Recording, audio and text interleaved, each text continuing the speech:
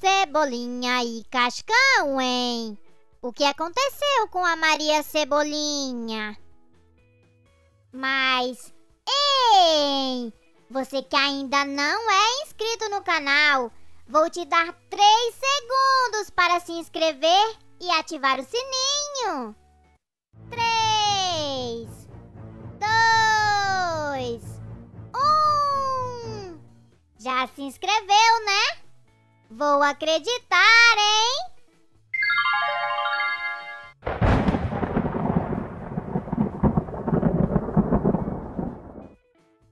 Ai, meu Deus! Vai cair o maior toró! Cebolinha, olha a Mariazinha pra mim enquanto eu vou recolher a roupa do varal. Falou! Ai, ai, como é duro ser o homem da casa. Ah? Ah? Ah, ah. Prontinho, Maria Cebolinha. Pode vir. Hã? Vê se fica quietinha aí, tá? E já sabe, se chorar, eu ponho a tampa. Que? Que? Que? Cebolinha, o que você fez? Deixou a sua irmãzinha dentro do cesto de roupa suja?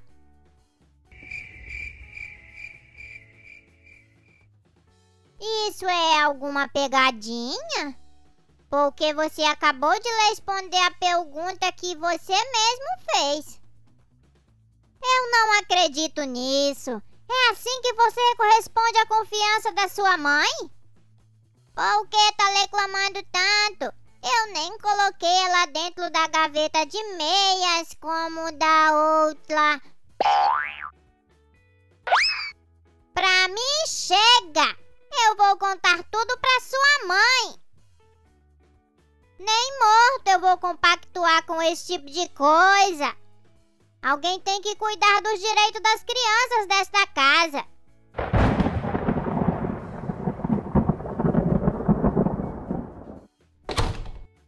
Bom, eu nem moro aqui mesmo.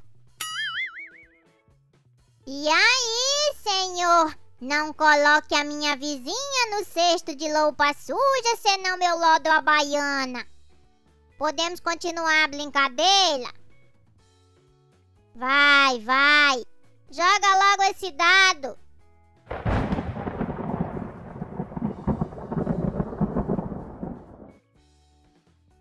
Oba! Deu cinco e... O que foi agora? Ah, sei lá. Será que vai demorar para parar de chover? Daqui a pouco vai escurecer e eu não vou poder voltar para casa. Deixa de ser bobo, Cascão. A gente pode ligar para sua mãe e pedir para você dormir aqui. Aí, a gente vai poder brincar de banco mobiliado a noite inteira, comendo cereais com uva passa. Vai ser super divertido! Que tal? Então, será que vai demorar para parar de chover? Ah, é assim, é? Então pode ir devolvendo todas as peças. Você não vai jogar mais. Ei, ei, me dá isto. Sabe quanto me custou a Avenida Pauleira? que me importa? Ah! Você lasgou uma nota do jogo! Nossa, que escândalo! Você mesmo disse, do jogo. Não é dinheiro de verdade. Não vale nada. Não vale nada pra você senhor milionário dono da Avenida Pauleira. Mas pra mim, ela é muito importante, tá legal? Eu sou uma daquelas crianças com mente analítica e calculista que gostam das coisas muito bem contadas. Sou capaz de dizer exatamente quantos gibis eu tenho em ordem alfabética ou cronológica. Balela! Tô falando. Se você me mostrar um palheiro, posso dizer quantas agulhas estão faltando. Certo. Então por que você não percebeu até agora que a Mariazinha sumiu? Hã? Ah! Ai, meu Deus! Maria Cebolinha! Fala comigo! Maria Cebolinha! Cadê você? Pinda, Lolas! A mamãe vai ficar fula! Ai, bebê! Não era você quem tinha o cabeção mais analítico e calculista da paróquia?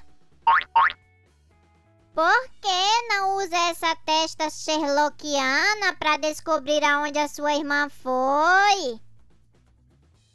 Puxa, que boa ideia! Como foi que eu não tive ela antes de você? Vamos lá! Eu tenho que dar uma boa olhada na cena do crime para saber para onde a fugitiva foi. Hum. Hum. Hum. Hum. Ah, que barato! Você está procurando sua irmã ou brincando de Humberto? Chega pra lá, sabão. Disso cuido eu. Hã? Prontinho. Aqui está a sua irmãzinha. A sua mãe nunca vai notar a diferença. Tá maluco? Isso não se parece em nada com a Maria Cebolinha.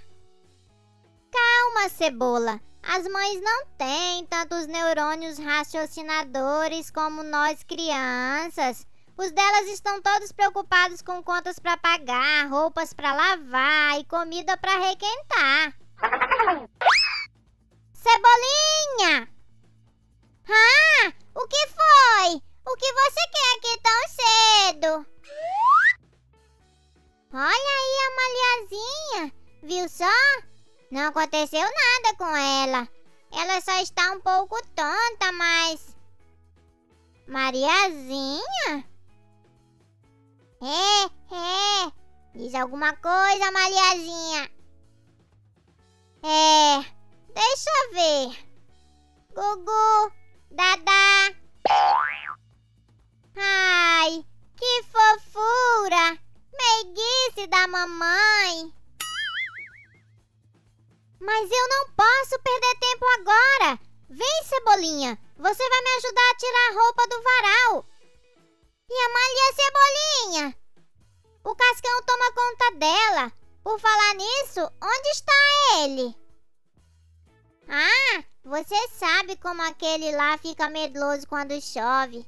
Ele deve estar escondido debaixo do tapete da cozinha. É mesmo, hehehe. Medroso, é? Ele vai ver só uma coisa. Eu vou puxar o carro agora mesmo e vou deixar esse abacaxi na mão dele.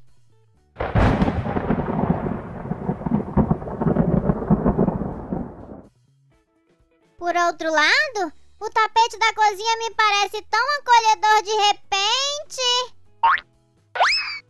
Querida, cheguei! Uh, cadê todo mundo? a minha linda esposa e aquele neném que fica engatinhando por aí que eu nunca sei o nome. O meu Cebolinha, o Floquinho. Ah, aí está ela. Gubli, gubli, gubli, lero, lero, lero. Ah, dá um tempo, vai. Ah! Chamem um padre, um exorcista, qualquer um! Vem, filho! Anda, que lá fora está caindo o mundo! Temos que catar tudo antes que. Ah? Gubli, gubli, lero, lero. Fofura! Coração de montão. Cascão, vê se acha logo a maliazinha acaba com essa bobeira. Falou! Vamos lá. É agora ou nunca? Onde essa menina se meteu? Vamos ver. Mente analítica, mente analítica. Vamos lá, Cascão. Põe essa cachola para funcionar. O que aconteceu com a... É claro! Como foi que eu não percebi antes? Está tudo aqui na minha cara. Primeiro, cesto para escapar. Depois, ela foi engatinhando até a outra página. Uma vez fora do cesto, ela improvisou um pequeno planador com barbantes e a saia da mãe dela. E saltando em direção ao ventilador, acabou sendo levada pelo vento até onde ela queria chegar. Em cima da geladeira mas não para pegar mamadeira ou papinha, como a sua mente inocente poderia imaginar. Mas para construir um foguete combinando o motor do refrigerador com aqueles ingredientes esquisitos que as mamães usam para fazer sopa. E assim ela se foi. E voltou para o seu planeta natal, onde tudo é de cabeça para baixo. E uma vez lá, ela se livrou do seu disfarce inofensivo para revelar sua verdadeira natureza aracnística. E assim seu plano terrível deu certo. Ela fundou um templo em louvor aos chocalhos, onde passa todas as sextas-feiras cantando hinos de salvação e glória. Ha ha ha ha ha ha ha. Gugu. Dada? Bom, é isso? Ou você estava o tempo todo escondido atrás do cesto? Ah! Puxa vida, conseguimos recolher toda a roupa. Bom, isso se parece mais com uma sopa de loupa. Mas... Cascão! Você ainda não se livrou dessa meia. Eu não falei que ela pra procurar a verdadeira maliazinha? Ali, padre! É aquela menorzinha! Desculpe, senhor, mas eu não posso. Então deixa que eu salvo ela. O que está acontecendo? O que está acontecendo? Vá de retro! Vá de retro! Uá! Uá! Minha filhinha! Cascão, eu sei que isso tudo é culpa sua! Volte aqui! E assim... Ah, então foi isso que aconteceu? Foi! Ah, E eu aqui pensando bobagens. Isso pode parecer engraçado, Cebolinha, mas não é. Para começar, você devia ter vigiado melhor a Mariazinha e não tê-la colocado num cesto. E tem mais.